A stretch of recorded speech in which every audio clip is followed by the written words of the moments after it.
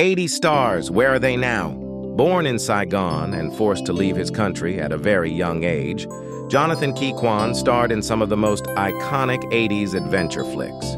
Perhaps you might remember him as Data, one of the Goonies, or as Indy's one-time partner, Short Round in Indiana Jones and the Temple of Doom. Citing a lack of opportunities for Asian actors, Quan retired from acting in 2002.